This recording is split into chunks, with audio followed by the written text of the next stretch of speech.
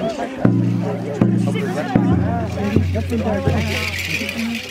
to pull this on Here.